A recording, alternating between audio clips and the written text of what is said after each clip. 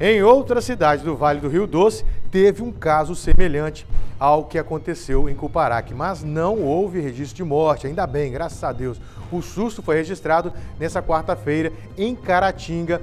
A marquise de um prédio da rua Deputado Dênio Moreira de Carvalho, no bairro Santa Cruz, desabou. Por sorte, não passava ninguém por perto no momento da queda e não houve feridos. Glória a Deus. Olha para você ver que coisa.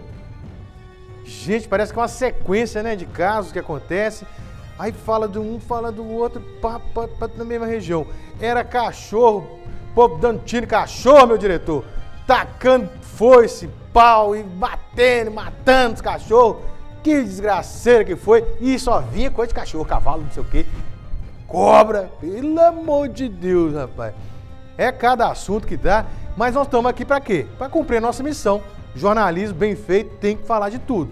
Conta todos os casos, bate lá, puna quem tem que punir, faz o que tem que fazer. Doe que é doer, mas tem que mostrar, não pode falhar não.